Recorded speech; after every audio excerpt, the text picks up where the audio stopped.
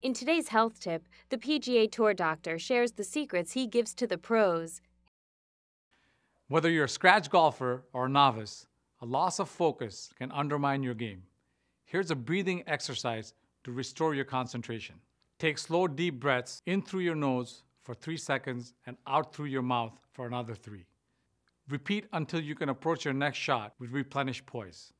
The occasional missed putt can cause you to tense up during a round. To keep this from affecting your swing, try a pec stretch. Hold your driver behind your back and grip it at both ends. Bend slightly forward from the hips. While keeping both arms straight, bring the club up toward your neck. Hold for five seconds. Expecting success is often the best way to achieve it.